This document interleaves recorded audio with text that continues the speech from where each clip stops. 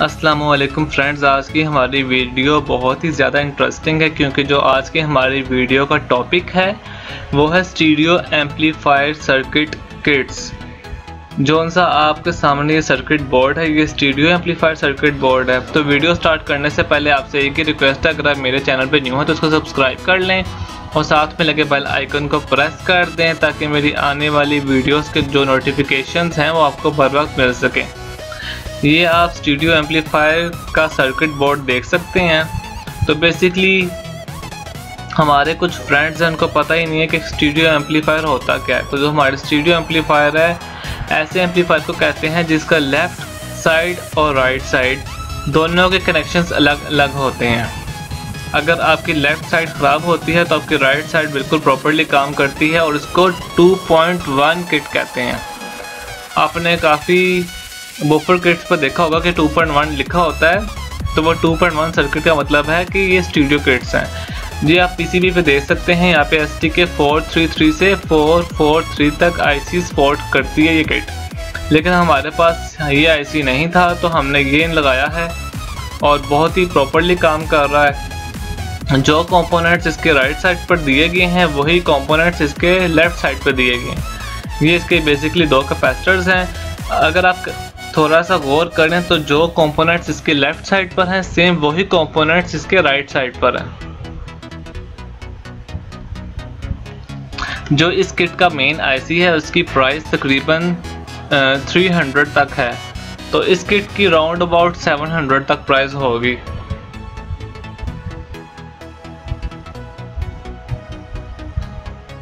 और अब हम किट के बारे में बात कर लेते हैं। बेसिकली ये जो सी किट है, ये हमारे जो उसके ऑपरेटिंग वोल्टेज है, वो 12 वोल्ट से लेकर 25 वोल्ट तक है। यहाँ पर हम अपना अडोप्टर लगाएँगे। अगर आपके पास अडोप्टर नहीं है तो आप ट्रांसफार्मर सप्लाई भी इस्तेमाल कर सकते हैं 20 जमा बीस की, जो कि कन्वर्टिंग में 25 वोल्ट आगे देगी।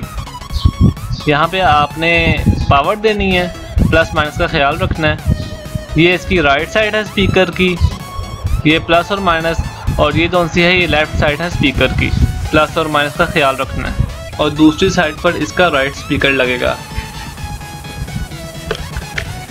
इन दोनों पॉइंट्स पे स्पीकर्स लगेंगे।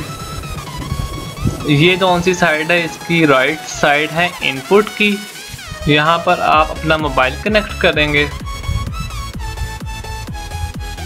और ये जो साइड है, ये है लेफ़्ट इनपुट की। यहाँ पर भी आप अपना मोबाइल कनेक्ट करेंगे। बेसिकली आप देख सकते हैं कि हमारी जो सी हैंड फ्री होती है, उसके तीन पॉइंट्स होते हैं, एक लेफ़्ट एक राइट और एक ग्राउंड बेसिकली वही कनेक्शन यहाँ पर इंस्टॉल्ड होते हैं। तो आगे चल के मैं आपको इस सर्किट को अपने एम्पलीफायर के अंदर इंस्टॉल्ड करने के बाद आपको दिखाऊँगा कि इसका साउंड कैसा है। ये जो सी किट है, ये बेसिकली फोर इंच के स्पीकर से लेकर 12 इंच के स्पीकर्स को इजीली सपोर्ट करती है।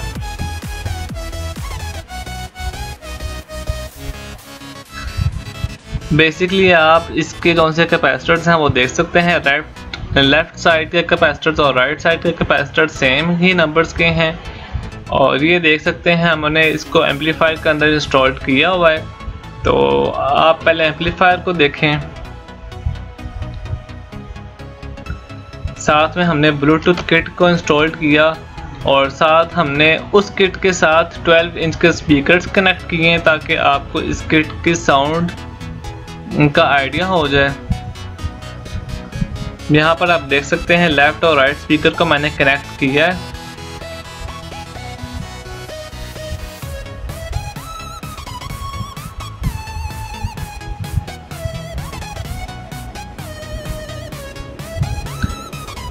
ये हमारा एम्पलीफायर है और पहले हम इसके बटन्स के बारे में बात कर लेते हैं। पहला बेस का सेकंड ट्रैवल का, तीसरा बैलेंस का, जो साथ में ये दो पॉइंट्स हैं, यहाँ पर आप अपना मोबाइल कनेक्ट कर लेंगे।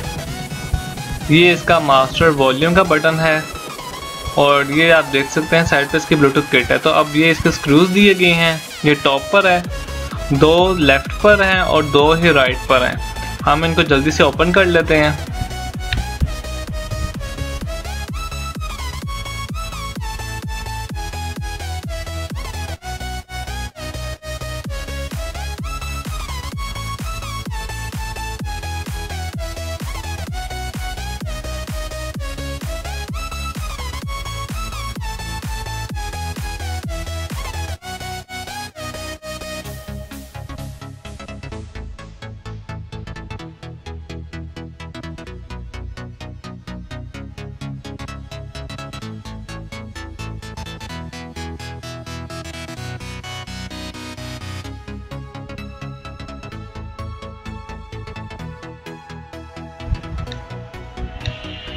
हमने अपने सारे के सारे स्क्रूज को रिमूव कर लिया है।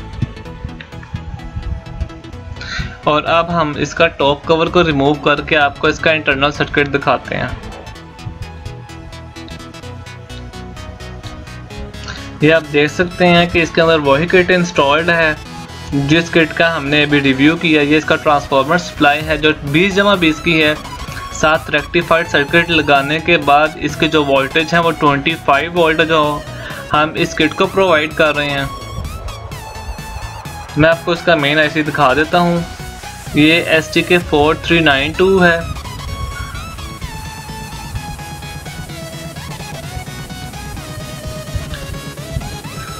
ये जो उनसी किट है, ये ब्लूटूथ की किट है। ये रेक्टिफाइड सर्किट है। ये बेस ट्यून जो बेस और ट्रैवल पतली आवाज़ को कंट्रोल करता है। साथ में हमने वॉल्यूम का बटन इंस्टॉल किया है। तो अब हम इसकी साउंड की टेस्टिंग करते हैं।